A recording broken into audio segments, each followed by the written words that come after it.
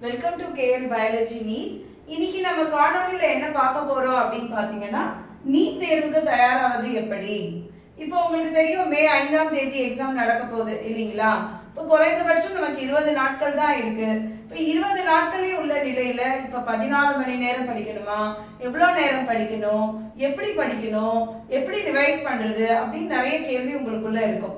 So அந்த கேள்விகளுக்கான விடையா தான் இந்த காணொலியை நான் உங்களுக்கு பரிசா கொடுக்க போறேன்.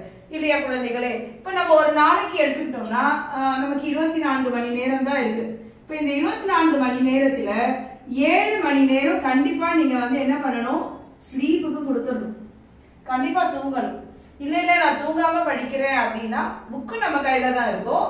ஆனா நம்ம கவனம் நம்ம கையில இருக்காது. இல்லைங்களா? உடம்பு ஒத்துழைக்காது. அதனால கண்டிப்பா குழந்தைகளை ஏழு மணி நேரம் தூங்கிடுங்க. இப்ப மீதி நம்ம கிட்ட எவ்வளவு இருக்கு? செவன்டீன் ஹவர்ஸ் இருக்கு.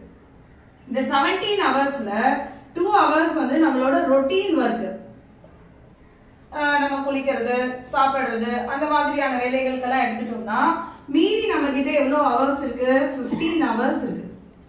இந்த ஃபிஃப்டீன் ஹவர்ஸை நம்ம ரெண்டு சப்ஜெக்ட்டுக்கு ஒரு நாளைக்கு எடுத்துக்கலாம். இப்போ ஃபார் எக்ஸாம்பிள் நீங்க ஒன் அண்ட் ஆஃப் ஹவர்ஸா எடுத்துக்கோங்களேன். One and half hours one and half hour one and half hour and one and half hour நாலு ஸ்பிளிட் போட்டிருக்கேன் நான் இல்லைங்களா? இந்த நாலு ஸ்பிளிட்டுக்கு உங்களுக்கு எவ்வளோ நேரம் ஆகும்? ஆறு மணி நேரம் ஆகும்.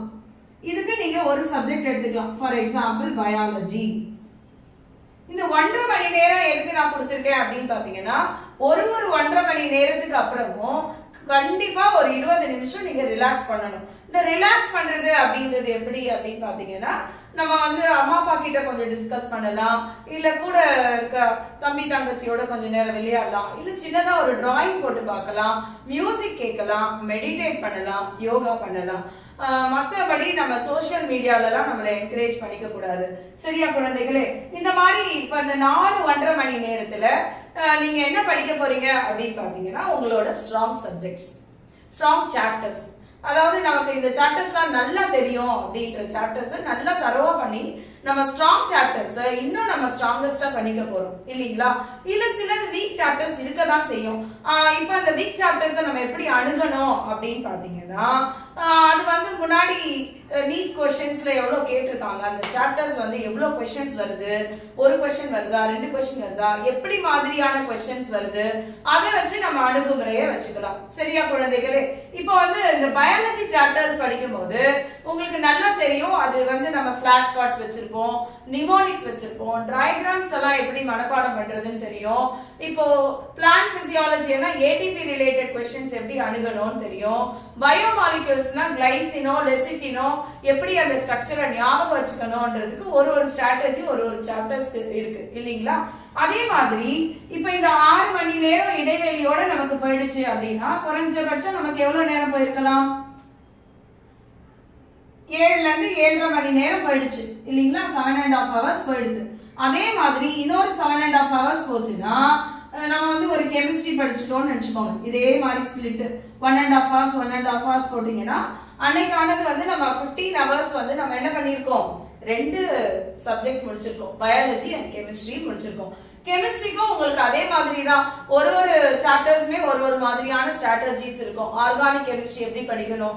பிசிக்கல் கெமிஸ்ட்ரி எப்படி படிக்கணும்? இன்ஆர்கானிக் எப்படி படிக்கணும்ன்றது உங்களுக்கு நல்லா தெரியும். ஸோ அதுக்கேற்ற மாதிரி உங்களோட ஸ்ட்ராங்கை நீங்க வந்து எப்பவுமே ஸ்ட்ராங் பண்ணிட்டே போகணும்.